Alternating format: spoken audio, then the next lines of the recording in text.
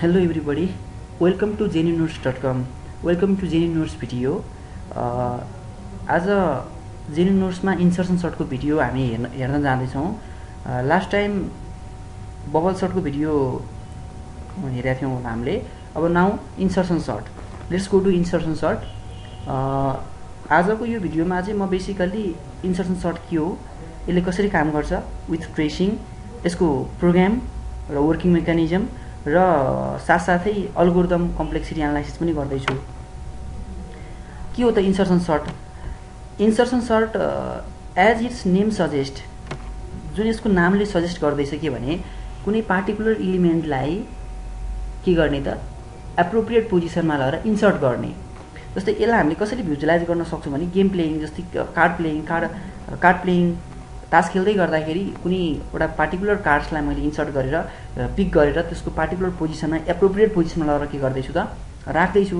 Same त्यस्तै खालको mechanism चाहिँ हामी इन्सर्सन सर्टमा युज गर्छौँ। जस्तै यसमा हेरौँ जस्तै इन्सर्सन सर्टमा बुझ्नुपर्ने कुरा चाहिँ के हो भने मसँग एनवटा इलिमेन्ट छ भने टोटल नम्बर अफ पास भनेको एन माइनस वान पास हुन्छ। जस्तै यहाँ कतिवटा इलिमेन्ट छ भने one two three four five सिक्सवटा सिक्सवटा के छ? इलिमेन्ट्सहरू छ भने के भएको छ भने यहाँ पाँचवटा पास भएको छ five pass N minus one pass बुझ्नुपर्ने कुरा भनेको there will be N minus one passes for N elements अनि अर्को बुझ्नुपर्ने कुरा के छ भने यदि एउटा मात्रै इलिमेन्ट हो भने त्यो इलिमेन्ट अलरेडी सर्टेड हो भन्ने एजम्सन हुन्छ। जस्तै ओरिजिनल लिस्टमा एकचोटि हेरौँ ट्वेन्टी थ्री भन्ने इलिमेन्ट जुन जिरोथ इन्डेक्समा छ फर्स्ट इन् जिरो इन्डेक्समा छ भने त्यो twenty three is already sorted भन्ने एजुम हुन्छ। र हाम्रो मेजर कन्सर्न के हुन्छ भने अनसर्टेड प्रोपोर्सनको फर्स्ट इलिमेन्टलाई लगेर सर्टेड प्रो सर्टेड प्रोपोर्सनमा लगेर एप्रोप्रिएट पोजिसनमा लगेर राख्ने।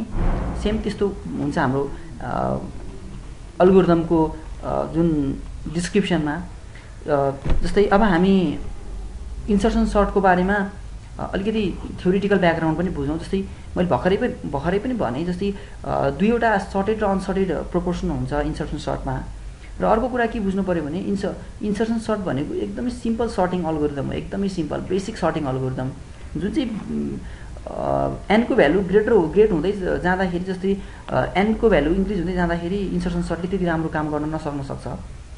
ओके अर्को कुरा यसमा बुझ्नुपर्ने कुरा भने मैले अघि भनिसकेँ एन इलिमेन्ट्स छ भने there will be N minus one passes now अब यसको यसलाई यसले कसरी काम गर्छ यसको प्रोग्राम कसरी डिजाइन गरिन्छ भन्ने कुरातिर जाउँ। सुरुमा जस्तै यहाँ हामी देख्न सक्छौँ मैले सातवटा इलिमेन्ट्सहरू यहाँनिर डिजाइन गर्दै राखेको छु है। Six eight twelve fourteen eighteen twenty and ten. यसमा के हो भने six eight twelve fourteen eighteen twenty element चाहिँ सर्ट भइसकेको छ। तिनीहरू चाहिँ सर्टेड प्रोपोर्सनको इलिमेन्ट हो भने टेन भन्ने इलिमेन्ट चाहिँ अनसर्टेड प्रोपोर्सनको इलिमेन्ट हो। अहिलेको लागि। यो टेन भन्ने इलिमेन्टलाई मैले के गर्दैछु भने यो सर्टेड प्रोपोर्सनको एप्रोप्रिएट ठाउँमा लगेर मैले त्यसलाई इन्सर्ट गर्दैछु। अब कसरी इन्सर्ट गर्ने भने सुरुमा हामी के बुझौँ भने जस्तै for I equals to one I is less than N I plus plus भनेको छ त्यहाँ। आई इक्वल्स टु वान किन भन्यो भन्दा मैले अघि पनि भन्दै थिएँ इन्सर्सन सर्टमा जिरो इन्डेक्सको इलिमेन्ट्सलाई हामी छोडेर वानदेखि हामी सर्ट गर्नतिर लाग्छौँ। त्यही भएर वानदेखि सुरु भयो त्यहाँ। र J equals to I minus one जेले कसलाई पोइन्ट गर्छ आईले चाहिँ कसलाई पोइन्ट गर्छ भने जुन इलिमेन्ट चाहिँ इन्सर्ट हुन हुनुपर्ने हो त्यसलाई पोइन्ट गर्छ। अहिलेको भनेको A I will be the element that is going to be inserted and J भनेको चाहिँ ठिक के हुन्छ? लेफ्ट ह्यान्ड साइडमा हुन्छ जे भनेको चाहिँ आईभन्दा लेफ्ट ह्यान्ड साइडमा त्यही भएर मैले J equals to I minus one गरेँ जे इक्वल जे यसमा हुन्छ। अब एक्स इक्वल टु एआई भनेको चाहिँ प्रोग्राममा भने एक्स इक्वल्स टु एआई अहिलेको केसमा हाम्रो इक्जाम्पलमा एक्स इक्वल टु टेन हुने भयो। अब म के गर्दैछु भने while J is greater than minus one and A J is greater than X के हो त यो बुझौँ? एकैपटक while J is greater than minus one भन्नुको अर्थ के हो भने जेको भ्यालु डिक्रिमेन्ट हुँदै जाने क्रममा जिरोभन्दा उता नजाओस् भन्नको लागि कन्डिसन राखे हो र अर्को भनेको A J is greater than X भन्नुको अर्थ मैले एक्ससँग चेक गर्नु पऱ्यो नि त जस्तै यो इलिमेन्ट टेनको एप्रोप्रिएट पोजिसन कता हो भनेर चेक गर्नको लागि मैले के गर्दैछु भन्दा हरेक इलिमेन्ट्ससँग चेक गर्दैछु। कसको? सर्टेड लिस्टको हरेक इलिमेन्टसँग चेक गर्दैछु टेनलाई। त्यही भएर A J is greater than X छ भने के गर्ने त? यदि यो कन्डिसन सेटिस्फाई भयो भने के गर्ने? A J plus one satisfy हुन्जेलसम्म के गर्ने? A J plus one equal to A J के भन्नु खोजेको हो त? A J plus one equals to A J यसले भन्नु खोजेको के हो भने सिफ्टिङ गर्ने भन्नु खोजेको जस्तै यो टेन छ यो टेन भन्ने इलिमेन्ट चाहिँ एक्समा राखेँ मैले सुरुमा र टेन र ट्वेन्टी चेक गरेँ। के छ? ठुलो छ। ठुलो छ भने म के गर्छु? यसलाई एक स्टेप सिफ्टिङ गर्छु। सिफ्ट गर्छु मैले यसलाई एक स्टेप सिफ्ट गरेँ। सिमिलरली फेरि एटिन के हुन्छ? जे त डिक्रिमेन्ट हुँदैछ जे फेरि कहाँ पुग्यो? जे यतापट्टि पुगिरहेको छ जे जे यतापट्टि पुग्यो। भने फेरि एटिनसँग कम्पेयर हुन्छ।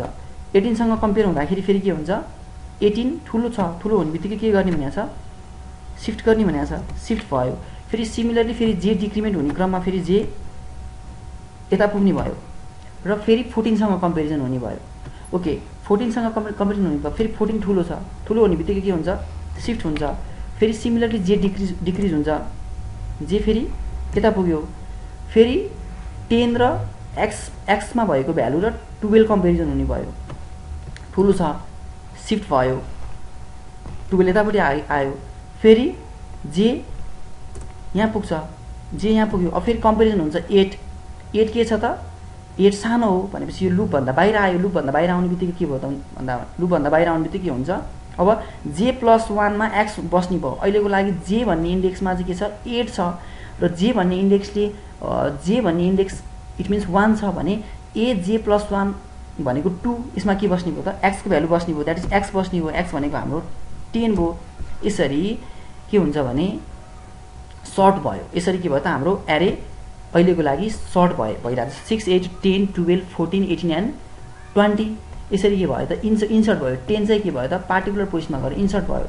यो जुन प्रोग्राम बुझिन्छ अब यसको कम्प्लेक्सिटी एनालाइसिस बुझौँ जस्तै इन्सर्सन सर्टको के हुन्छ भने यसको कम्प्लेक्सिटी भनेको बेस्ट केसमा चाहिँ अर्डर अफ एन हुन्छ। यो बेस्ट केस भनेको जब एरे हामीलाई अलरेडी सर्टेड दिएको छ त्यति बेलामा के हुन्छ बेस्ट केस हुन्छ। र यसलाई अर्डर अफ एन मात्रै लाग्छ। किनभने यसमा नम्बर अफ मुभ्स नै के हुन्छ? Two into N minus one मात्रै हुन्छ र इनर लुप नै एक्जिक्युट हुन पाउँदैन यसमा है? र ओस्ट केसमा अर्डर अफ एन स्क्वायर हुन्छ। यसमा के हुन्छ भने एन स्क्वायर कति बेलामा हुन्छ भने ओस्ट केसमा जब एरे चाहिँ ऱ्यान्डम अर्डरमा छ अथवा रिभर्स अर्डरमा छ भने अर्डर अफ एन स्क्वायर हुन्छ। र इनर लु लुप चाहिँ actually N minus one time execute हुन्छ र के हुन्छ? नम्बर अफ मुभमेन्ट भनेको चाहिँ N into N minus one by two हुन्छ त्यो भनेको अर्डर अफ एन स्क्वायर भयो। सिमिलरली कि कम्पेरिजन पनि के हुन्छ? अर्डर अफ एन स्क्वायर हुन्छ.